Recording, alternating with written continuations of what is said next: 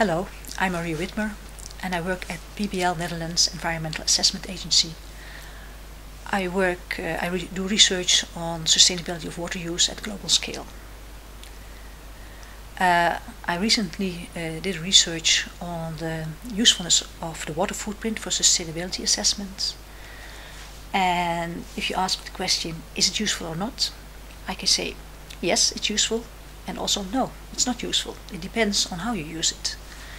Yes, the water footprint has been used very effectively to raise awareness about the importance of water for our life and lifestyle. There are enormous uh, volumes of water needed to produce the goods that we consume. Let's give an example.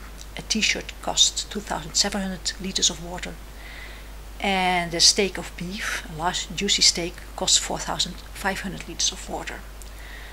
Uh, these impressive volumes, they say, they tell us that water is very important for our life, but they don't say us much about sustainability of the water use. Um, to know whether the water use is sustainable, we don't need the volumes of water. No, we need uh, to have knowledge about the location of the footprint. Uh, do we know where the footprint is located? Then we also know the context of the catchment area and we know whether the footprint there is sustainable. A water footprint is unsustainable if it uses water from overexploited water resources, if it pollutes water or if it's uh, allocated unfair in an unfair way, at least considered unfair, or economically in, inefficient. Um, so, if we know the location of a water footprint and we know whether if it's unsustainable, then there's at least a link for solutions.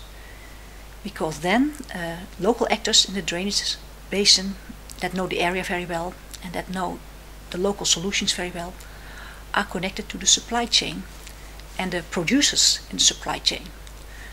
Producers who use the product that is produced there uh, as ingredients for their uh, production. By bringing these two worlds together, you connect finances and power of the producers to local knowledge of the stakeholders. And so this innovative cooperation can help solve water problems.